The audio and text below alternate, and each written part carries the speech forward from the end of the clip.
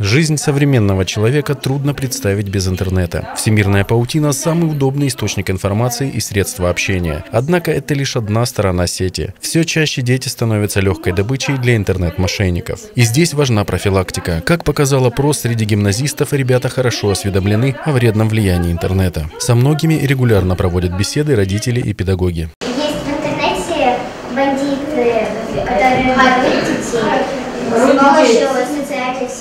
Потратить свое время впустую можно, даже находясь офлайн. Компьютерные игры – развлечения, затягивающие на долгие часы и пагубно влияющие на неокрепшую психику. По словам психологов, избавиться от компьютерной зависимости можно, если найти альтернативу. На кинолектории школьникам показали фильм с историями реальных людей, которые смогли выпутаться из сети. А самое главное, рассказали, как в нее не попасть. Очень важно напомнить им о здоровом образе жизни, о том, что для них лучше, о тех привычках, которые нужно развивать и прививать. И мы стараемся говорить с детьми об этом, поэтому мы всегда сотрудничаем с Центром медицинской профилактики, они не первый раз к нам приезжают. Если у детей зависимость от интернета, медики проверили с помощью специального тестирования. Результаты порадовали и психологов, и преподавателей. Из 25 ребят не было выявлено ни одного случая. В гимназии Эврика кинолекторий проводят уже третий раз. Предыдущие встречи были посвящены вреду курения и наркозависимости. В планах специалистов посетить и другие общеобразовательные учреждения города-курорта.